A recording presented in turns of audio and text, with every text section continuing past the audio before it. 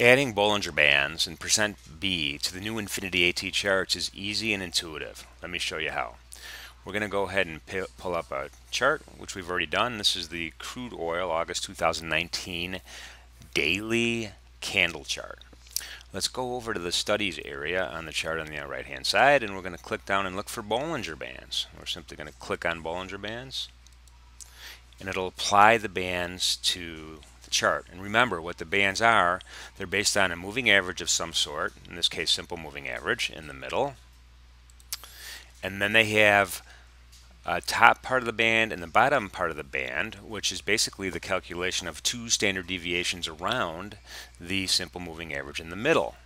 And of course we could customize this any way we'd like by simply going up to the studies area and then selecting, you can see current studies is telling us that we have already applied Bollinger Bands, but we can click on that current study and it shows you we could change the period of the moving average. In this case it's 20 and that's kind of the default. That's what the, the Bollinger Band default setting is. It's based on the close price uh, it's based on two standard deviations. Of course, you could change that to make the bands tighter or larger.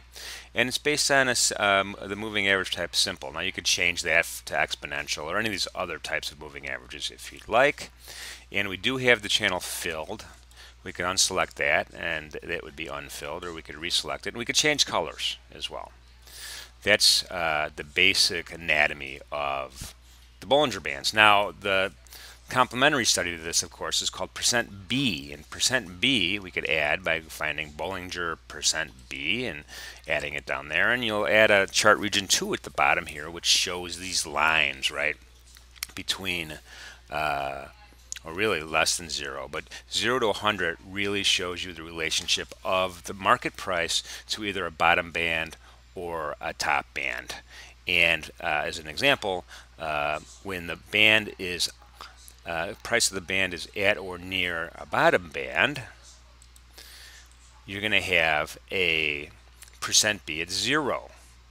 If your price is below a bottom band, then the percent B will be less than zero. If your price is at the top band, then you'll be at a percent B of 100. If it's above, it'll be greater than 100. And the equation is simply uh, the current price minus the lower band divided by the, the total range, the upper band minus the lower band. And that's how you get percent B. Bollinger Bands really are used a couple different ways. One way is to measure volatility and see if the market is expanding or contracting. If volatility is expanding or contracting. As the bands get bigger, the separation between the top and the bottom, then it's expanding. As it gets smaller, it's contracting. And that kind of helps under, traders understand uh, you know the state of the market and uh, oftentimes uh, after a, a contracting period, the market will expand and vice versa. So it can give you clues there.